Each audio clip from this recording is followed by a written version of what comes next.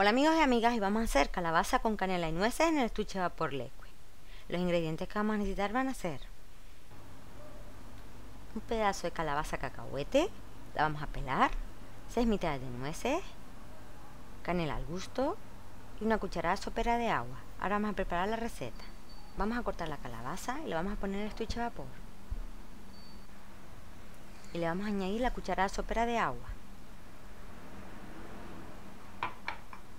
Cerraremos el estuche y lo vamos a poner en el microondas durante 6 minutos a potencia máxima.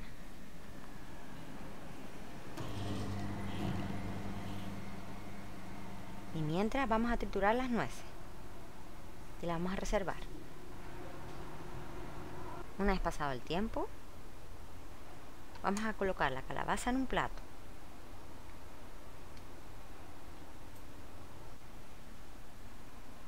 Y le vamos a añadir la canela al gusto. Como opcional le pueden poner un poquito de azúcar.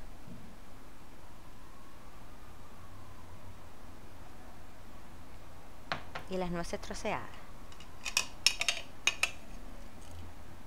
Ya tendríamos nuestra rica receta. Pues nada, amigos y amigas, espero que se animen a probarlo, espero que les haya gustado. Un like si así. Gracias y nos vemos en el siguiente vídeo.